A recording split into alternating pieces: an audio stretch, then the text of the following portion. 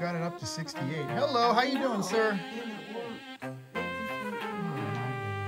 That's what he, that's how, well, the guy that put the thermostat in Mm-hmm. yeah. years ago, or several years ago, that's, he told me, this is all I need to do. Mm-hmm. That is all you need to do. And in fact, you can see right here, it says the heat is on. I know. But we're getting nothing. Well, let's hope that maybe um, there's like a little fuse or a little sensor that's loose or something, and that's all we got to deal with today. Okay, good. right before Thanksgiving. I apologize, guys. No, that's okay. Where's the uh, furnace it- located? Is it back here? Yeah. How you doing, sir? Nice to meet you. I'm Sonny. okay, you guys are my last one, so let's see if I get some good luck today. Okay. All right, and we're right up there. Yeah. Okay, I'll tell you what. I'm gonna go get a ladder. Would it be okay if I just pulled the, Well, let me the get roller that out? stuff out of your way. All I right. forgot it was here.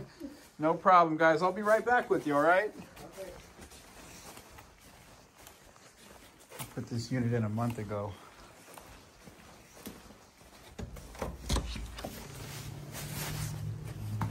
Yeah, my team, my team put this in a month ago, guys. Let's see what the hell they did, huh? All right. Got a champion furnace, which is basically a York.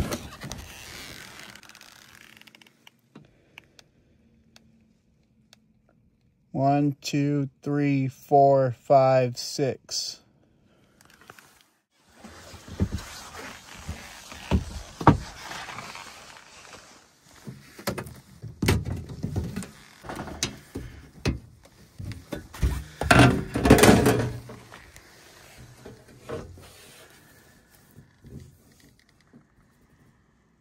Repeated three red vent or termination problem. All right, what the hell's going on here?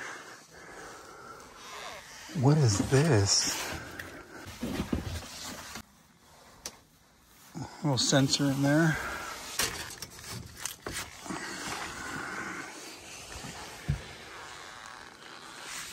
Look at the pressure switches. The drain is in. Got any water in here? Yep.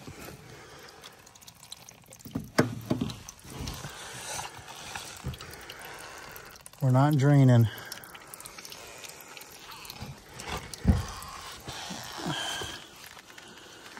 Come on, guys. Look at that. All right, let's see here. You guys down there? Yeah. So I've got some water backed up in the unit up here. It appears that I can probably get it fixed today, get you some heat, but did they leave you any um, installation booklet or anything like that, any paperwork? Yes. Let me go down there and see if I can find the booklet so I can see if they ran the drain right. Okay. I'll meet you down there, okay? There's water leaking up there? Not in there, it just got backed up. It's not leaking in the attic or anything. Oh, The unit drains water and then one of the tubes just had a little bit too much water, got backed up. So there's a pressure switch and it turned the unit off as a safety, that's all. oh, Yeah, so we just got to see if we're, uh, how to, how the drains are ran real quick. I'll go down there and take a look. okay. All right. I can bring you the folder if you want. Yeah, I'll, I'll meet you right back there at the ladder. Okay. Okay. All right, let me see. Be careful there. I can get it. It should be a manual. Okay. Give me a second. I'll figure out why this water is backed up a little bit and how to fix it. Okay. Okay. Yep. And then uh, I might I might drain it out of the tube and let the heat run just so it gets the chill off the house for you guys too. Oh, okay. All right. All right. I should be able to hit that QR code. Okay, here we go. We're looking on a TM9V installation guide, installation manual. Let's look for condensate. Condensate piping and furnace uh, venting configuration. Okay, this is a horizontal right.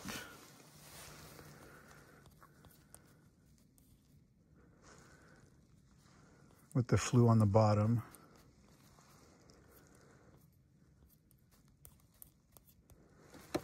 Like this one right here. Okay, this is our config right here. Move rain gutter hose into that position. Move condensate drain hose to this position. Move pressure switch hose to that position. Change condensate drain connection to the 90 degree fitting provided. Okay, so let's see if we got this stuff here. Move condensate drain hose to this position.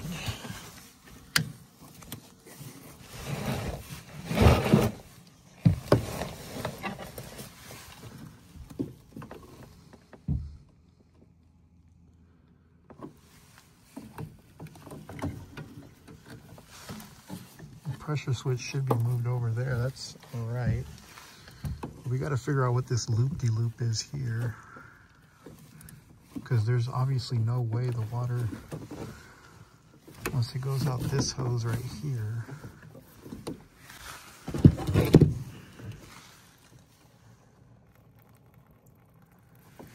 it's not draining at all, dude.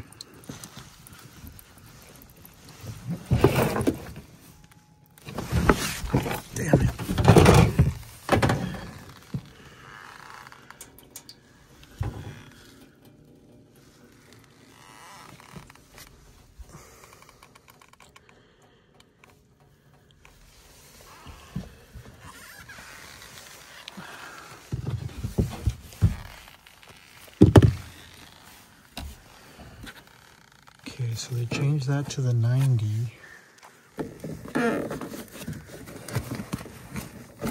Is it backing up in there too? No.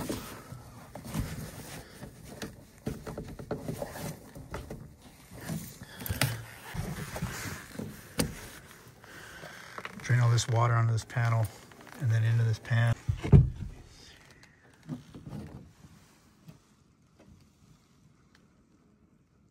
Move pressure switch hose to this position.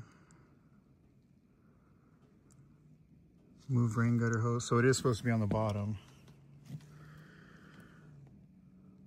But you can see theirs has a little grade, whereas mine doesn't.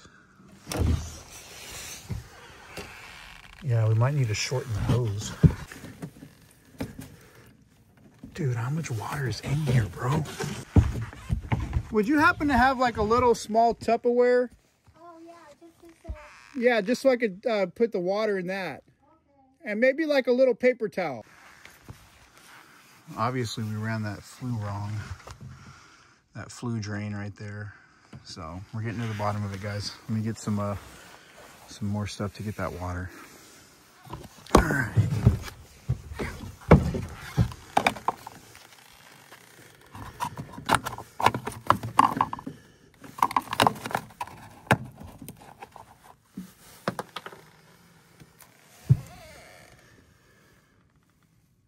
Fill that thing up. So it looks like according to my manual, guys, what I have to do here is shorten up this hose so that we have some grade on this hose here. Oh no. No wonder. they didn't remove the plug. Oh my gosh. Now I got more water going in this damn unit. Oh my gosh. She gave me a towel. There it is.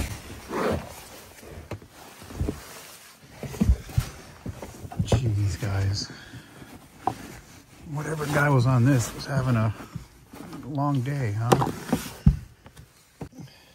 How's the water to drain if that's plugged? Jeez.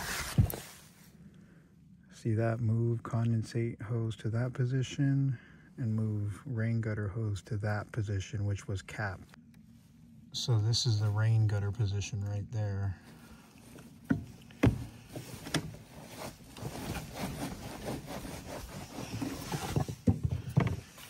There's that damn cap. See, closed on the other side.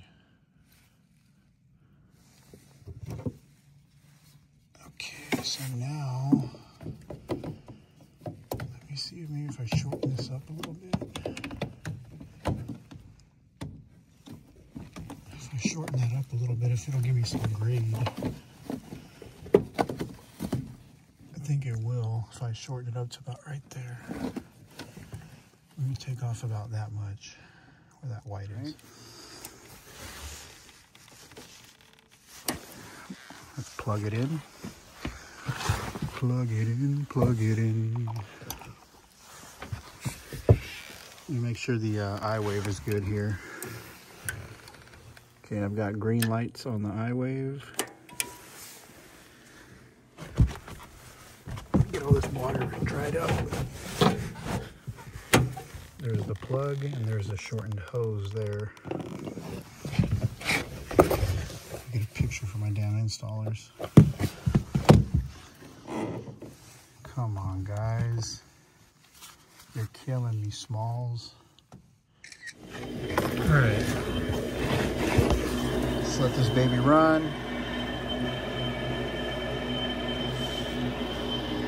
Here's my igniter coming on.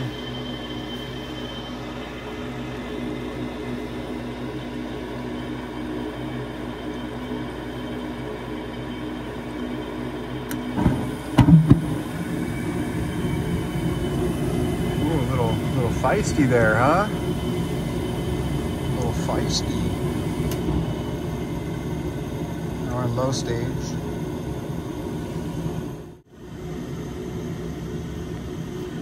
It's about 441. Thanksgiving's tomorrow. This is the last call before Thanksgiving. This is probably definitely not going to post before then, but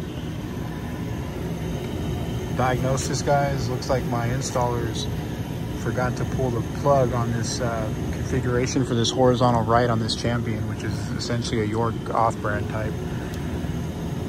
And so basically what we have to do is have some grate on that. And then now we have the plug out. So now the collector box can fill up and drain out of here and out. So far so good. I don't hear any water bogging up.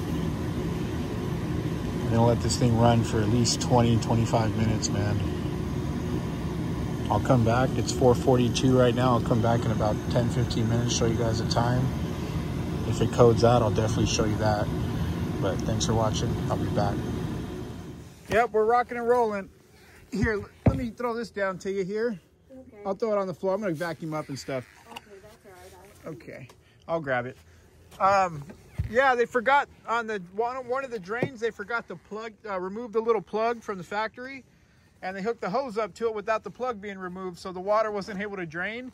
And so the first couple, you know, first time you used it, the water just filled up in the furnace, and it just just stayed in the furnace basically. And there's a little pressure switch in there that just didn't let the system run. But it, it doesn't let it run. It's called a lockout, so you guys can call the service out and we can figure out what's going on. We have to reset the unit to clear that code. Oh. So they, the system manufacturers make make it called a lockout. So we have to come out and physically look at the system basically, mm-hmm. instead of it keep resetting on you guys. You know, Oh, so they messed up. my guys messed up. Yep. I thought it was a thermostat or something. Nope. You're good. It's on us. I'm gonna check my primary just real quick. Yep, we're starting to get some water in there. So see how on these guys it says no external trap is required in any position. The trap is internal on that collector header. And so that's why this one is lower than this drain because you basically got a trap inside that collector header. So we don't need to add another trap on these on the exterior. But my guys just didn't give this thing the ability to even drain. So the owner's kind of pissed about that because they told her it was working. Which I'm gonna make sure that whoever installed this system knows not to do that. Up to seven. I bumped it up just so we can get it to run for a couple minutes. You know, uh-huh. I'm gonna I'm gonna about 5:15. By then I'm comfortable. I can go to sleep tonight knowing you guys are gonna be, you know, you should be good. Okay. 20 30, you know, 20 25 30 minutes of runtime is plenty for that water to get in and drain out, you know. Yeah, because I. Oh, All right, let's take a look at this drain line. Oh yeah, I've got an active drip. Nice. Yeah, that makes me happy. That means the water that's going in the system is making it out instead of getting stuck. Yeah. That's something you're always going to want to keep an eye out for in the summertime and the wintertime. Yeah, Pop out here every now and then when you're watering the flowers. Yeah, that's actually, that's doing good. I'm going to pop back in the attic Okay. and then make sure everything is clean as a whistle. And then we'll get out of here right before Thanksgiving. I'm going to get home after this. the kiddos are like, hey, are we ready for Thanksgiving or not? All right. Okay, guys, moment of truth and end to this video. We're about a quarter, quarter past five here. Day before Thanksgiving. Diagnosis incorrectly pitched tube going from the flue or from the rain gutter. And then we also had a plug on that collector header that was not removed. So these things can be positionally or positioned upflow, right, left, you know, all kind of different types of configurations and you've got to move the drains around appropriately. So I found out that this guy just started out with this, so we'll give him a break. We'll let him know. But uh, that's gonna be it, guys. Make sure your water's draining. Outside, we got good water. I bet if I remove this, water's gonna flow, but I don't wanna add any more water in this thing that doesn't need to be in there. I'm not hearing anything. Just kidding, I just found another issue, guys. So I ran the system and I noticed it wasn't kicking into high stage now. So everything was hooked up, but you forgot to put the staging jumper on 10 minutes.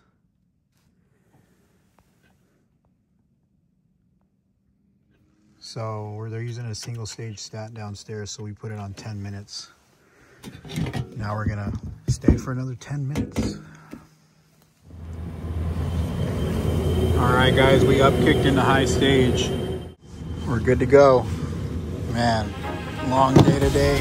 Thanksgiving tomorrow. Time to get back to the family, guys. I appreciate you all for hanging out on this one. Take it back to the office for some coaching. Other than that, everybody makes mistakes, right? Let's just make sure that we don't make them over and over and over. You guys have a great day. Catch you on the next one. Peace.